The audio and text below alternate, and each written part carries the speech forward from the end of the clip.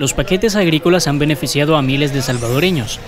En el cantón El Jocotillo del caserío Puente Arce, en el municipio de San Francisco Menéndez en Aguachapán, se entregaron más de 500 paquetes a los agricultores de 20 comunidades, lo que queremos garantizar primero es que tengamos el maíz, el frijol y lo que necesitamos los salvadoreños para comer y garantizar que los agricultores van a tener entonces esa cosecha lista. El padrón para la entrega del paquete agrícola se ha venido ampliando para beneficiar a más artesanos del maíz que se esfuerzan por salir adelante cultivando la tierra trascendimos a hacer algo importante, es incorporar a nuestras mujeres agricultoras.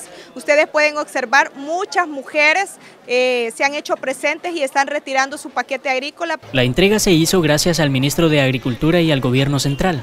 La población muy satisfecha agradeció la ayuda proporcionada. Es una gran necesidad que este, el gobierno nos está ayudando a solucionar, ¿verdad? Porque este, muchos, la mayoría somos campesinos y se le agradece porque en ningún tiempo había habido un gobierno que, que nos ayudara en esa forma, ¿verdad? Es así como nuestro pueblo también no aguantará hambre, porque es el primer gobierno que ha visto los pobres en, eh, acá en todo este municipio. Con esta ya son dos entregas seguidas que se han hecho en beneficio de la población agricultora, aportando la base fundamental para el sustento de sus familias y su comercialización.